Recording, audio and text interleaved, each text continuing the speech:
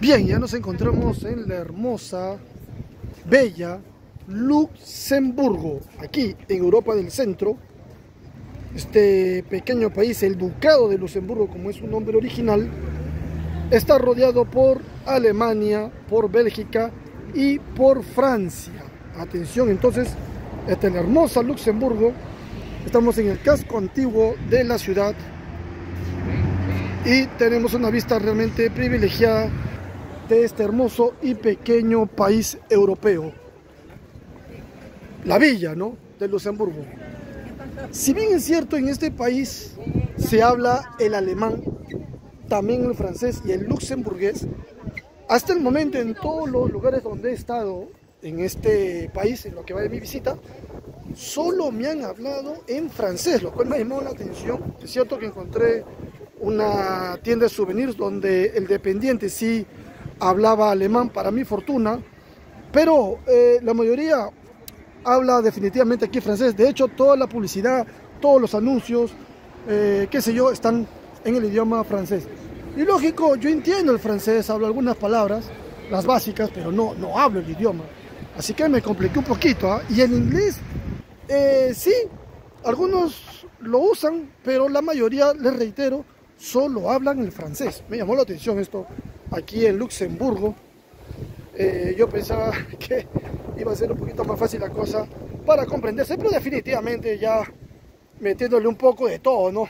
Inglés, lo que uno sabe de francés y definitivamente el alemán, ahí uno se va comprendiendo o haciéndose comprender aquí en la bella Luxemburgo.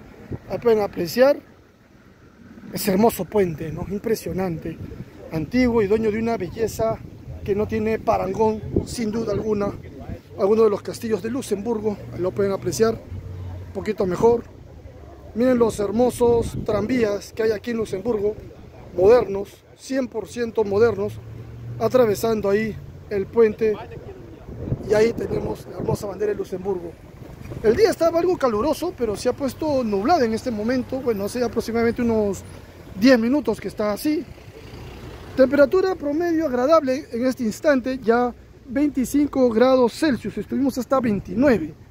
Por eso les digo, ha bajado, ha bajado la temperatura realmente, pero estamos en short, estamos con polera, en sí es caluroso, pero ya un calor moderado, ¿no? una cosa que se puede, digamos, soportar. No, no como por ejemplo cuando hemos estado en Austria, eh, cuando hemos visitado el Medio Oriente, como cuando hemos estado en Turquía, donde el calor era insoportable, o por supuesto en Italia, ¿no? donde quema terriblemente. Aquí la cosa sí es distinta, un poquito más moderada. Bueno, esto es lo que les puedo mostrar. Ahí vemos el Gran Hotel Krabat, uno de los hoteles más céntricos y más antiguos de Luxemburgo. La catedral, la hermosa catedral. Ahí vamos después de esta visita. Hay catacumbas también. Debajo de esto que estamos pisando, del pavimento, están las catacumbas, las casamatas, como se le conoce también a estas edificaciones antiguas. ¿no? Realmente impresionantes. Queríamos ir ahora, pero nos dijeron que estaban cerradas, que hay refacción. El precio de la visita era 15 euros para menores hasta 14 años, 7,50 euros y para los bebés o niños eh, el ingreso hasta los 6 años era gratuito, o es gratuito, perdón. Pero mm, lamentablemente en este momento se encuentran cerradas por refacción. Precisamente ahí está la entrada de, los, de lo que se conoce como las casamatas.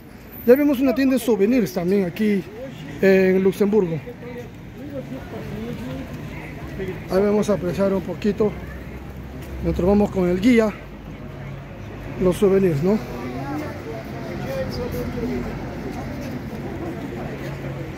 Ahí están los hoyos públicos también.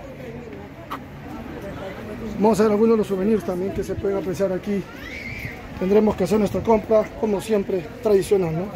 La compra obligada de souvenirs. La mayoría sold out, quiere decir que ya ni siquiera se pueden encontrar esos modelos.